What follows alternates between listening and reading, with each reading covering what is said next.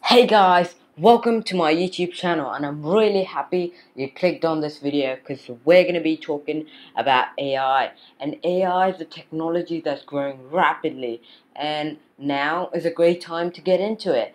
And most people aren't aware about the technology and how it works. So I'm here to help you get into the field. So uh, this is a collab video and Hammad Shaikh from Empiricist Academy is going to tell you what machine learning is. So I hope you enjoyed the video and let's get into it. Thanks, Shaik, for the introduction. Hi there, I'm Hammad from Empiricist Academy, and what I'm going to be doing today is telling you what is machine learning.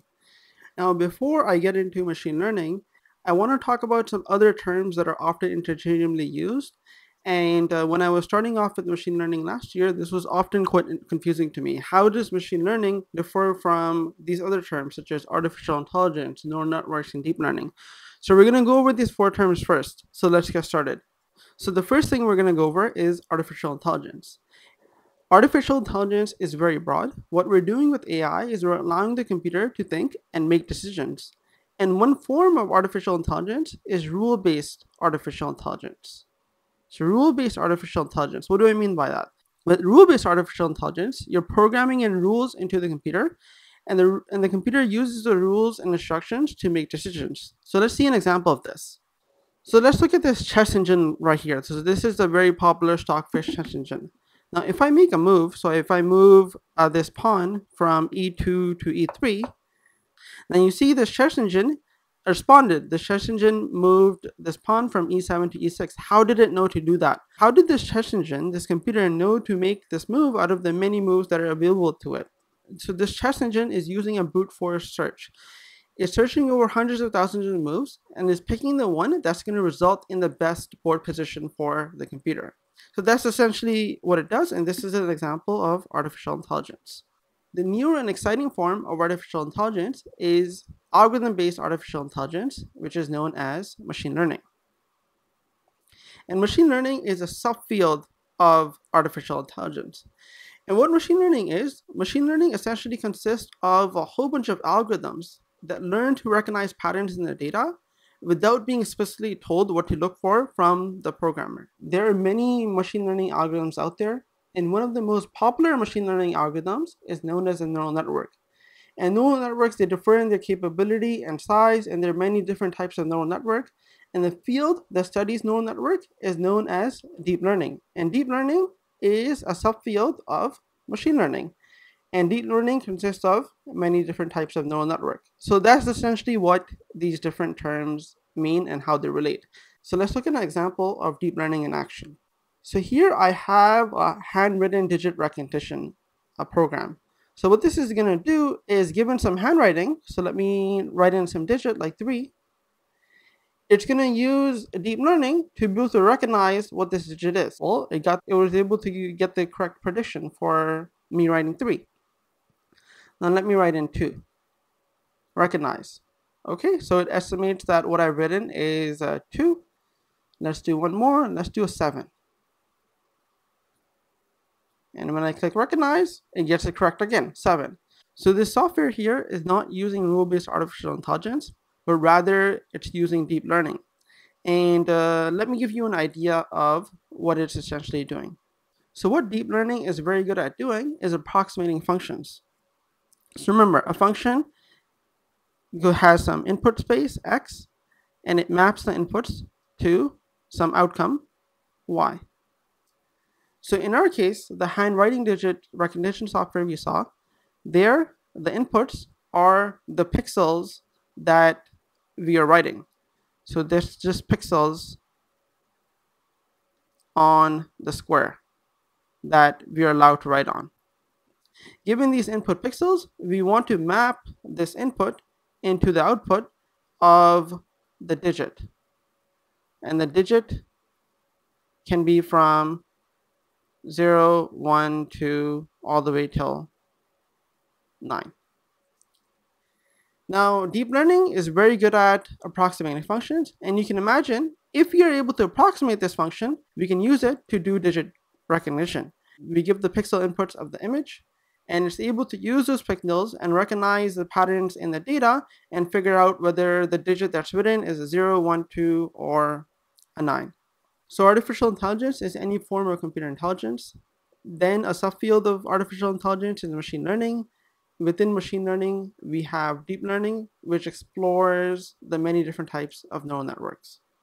What's going on guys? It's Daniel Bourke here, and I'm, I'm going to tell you in 90 seconds or less where, where machine learning is being used right now.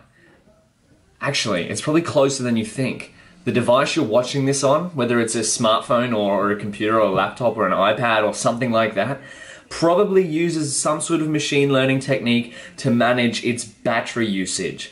Now, what, what's that? Well, the devices that we use every day collect a lot of data. And within that data, there are patterns, usage patterns for the case of a smartphone or, or a computer or something like that. And those usage patterns can be used over time, collected over time, and figured out how to most efficiently deliver power to your device. So uh, rather than your device running out of battery quicker, it lasts longer. Where else can machine learning be used, or where else is it already being used? Because it's in every single industry. Healthcare, analyzing healthcare records to work out which treatment will be best for, for a number of different people. Booking a plane flight, going online and searching all the websites that, that have the best plane prices at the best time. That's machine learning as well. Or managing cooling and heating systems. Google reduced their power bill by 40% using machine learning techniques to figure out more efficient strategies to cool their data centers. Machine learning has been around for decades and it's, it's, it's, it's more than likely in everything that you use, every piece of technology, well, well, it's going to be in every piece of technology that you use going forward. It's becoming more and more prevalent. That's why it's such an exciting time to get into the field. So start learning machine learning and realize it's probably a bit closer than you think. So I'm going to show you guys a neural network that is going to be able to map true or false values to its XOR values. So the first thing you're going to do is going to convert this data set into two matrices. Uh, so um, a matrix is just a group of numbers and they're in the shape of number of examples by number of nodes or features. Uh, in this case we have two nodes or features. Then you need to matrix multiply this matrix of true or false values with another matrix filled with random values. So the numbers in this matrix are called weights and then uh, you get a matrix with the shape of y which is 3 by 1 now what you do is you optimize these weights using an algorithm called gradient descent till you get the correct result so the idea is after you get the resulted matrix close or equal to y by updating these weights, they collect and store some patterns from the dataset. And then what you can do is you can use those patterns to predict the XOR value for a completely new example that the neural network hasn't seen before. So you're going to define your model using the sequential function which allows us to feed the data into the neural network sequentially and then you use the dense function to create the nodes and also to create the weights between the nodes for the neural network um, so first we're going to create a dense layer of three nodes and the number of input nodes or the features is 2 so we pass that as an argument um, and then we create an output layer of one node. So the next step is to train our model, which is optimizing these weights using gradient descent. So what you did till now is design the network, and then now you fit the data into the model, meaning you feed the data in, into the neural network exactly the way you define your model and then what you do is you finally predict XOR value for a new example. Case we have 0, 1 So we feed that through the network and do some matrix multiply with those weights um, and then get the XOR value.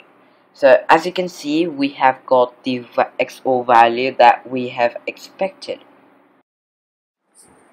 It's okay if you don't completely understand it. I didn't want you to take so much at a time and get confused so I skipped most of the details of it.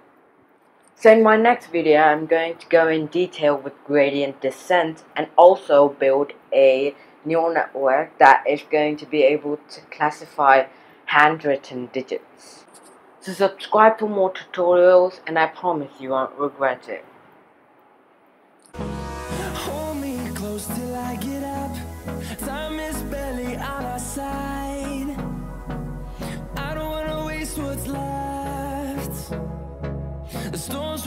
Chase are leading us,